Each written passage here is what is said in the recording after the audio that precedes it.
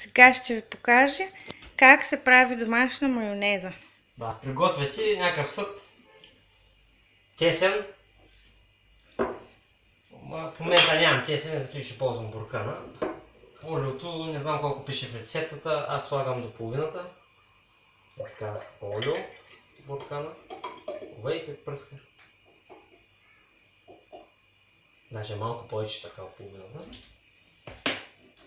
Малко сол ще добавим. Нали, Горе-долу на вкус, а не се знае, как не, после пак ще разбъркаме.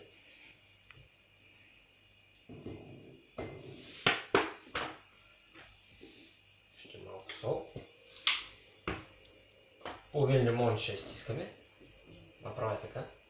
Само да няма семки, защото после може да хрупа тази майонеза.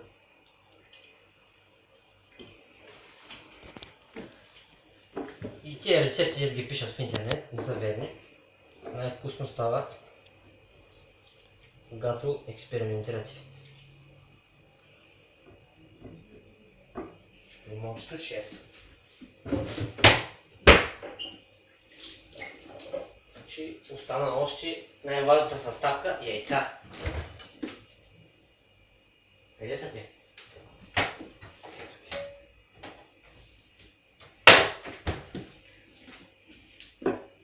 Принципно може и с едно яйце, ама ще направим с две. Който иска чисто бяла майонеза, разделя жълтъка от белтъка и всичко е точно.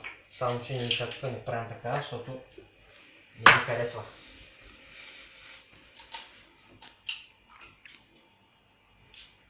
Щупваме така смело яйцата.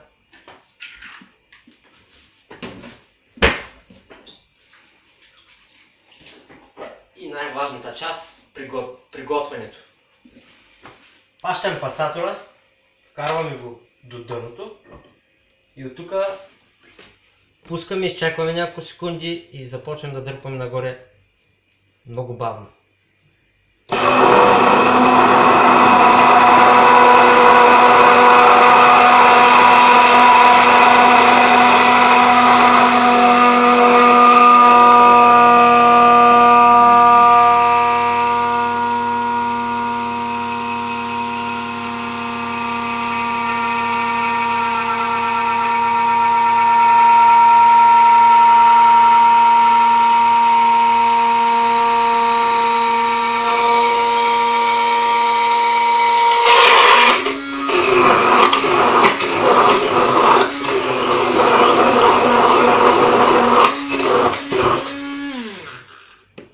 Майонезата е готова.